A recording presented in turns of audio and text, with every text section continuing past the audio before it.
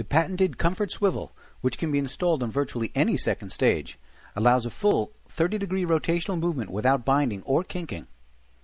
A pair of self-lubricating bushings inside a stainless steel or lightweight titanium housing provide a maintenance-free seal without binding even under pressure. Perhaps one of the most admired features of atomic second stages, you'll wonder why it has never been in use before.